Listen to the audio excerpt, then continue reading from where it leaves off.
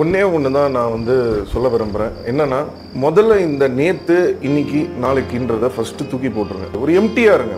ஃப்ரீயாக விடுங்க. ஏன்னா எல்லாமே இந்த ஒரு ஒரு நொடி மட்டும்தான் உங்களுக்கு என்றைக்குமே இருக்க போகுது. நேற்று நீங்கள் இருந்ததும் இப்போன்ற இந்த நேரம் தான் இன்னைக்கு நீங்கள் இருக்கிறதும் இப்போன்ற இந்த ஒரே ஒரு நேரம் தான் நாளைக்கு நீங்கள் இருக்க போகிறதும் இப்போன்ற அந்த ஒரே ஒரு நேரம் தான் ஸோ அந்த இப்போ இங்கன்ற இடத்த மட்டும் பிடிச்சிக்கோங்க. அதை விட்டுறாதீங்க நீங்கள் எதை மாற்றணும்னு நினச்சாலும் சரி எது செய்யணும்னு நினச்சாலும் சரி அதை இப்போ இங்கே செய்கிறதுக்கு பாருங்கள் இப்போ இங்கே என்ன பண்ண முடியுன்றது மட்டும்தான் உங்கள்கிட்ட உங்கள் தோட்டாக இருக்கணுமே தவிர சாப்பிடும்போது வேறு எது எங்கேயோ யோசிச்சுட்டு இருக்கிறது இல்லை ஒரு படம் பார்க்கும்போது வேறு ஏதோ ஒரு விஷயத்தை செய்கிறது அதை கட் பண்ணிவிட்டு அந்த இருக்கிற ஒரு நொடிக்கு வந்து மரியாதை கொடுத்து ரெஸ்பெக்ட் கொடுத்து அதை மதித்து செய்கிற ஒரு ஒரு விஷயத்தையும் பார்த்து நீங்கள் செஞ்சீங்கன்னா அதை கவனித்து செஞ்சீங்கன்னா வாழ்க்கை வந்து ரொம்ப நல்லாயிருக்கும். அவ்வளோதான் மற்றபடி இந்த உலகத்தில் வேற யார் சொல்கிறத பற்றி அவன் சொல்கிறத பற்றியும் கேட்கவே கேட்டாது கேட்காதீங்க.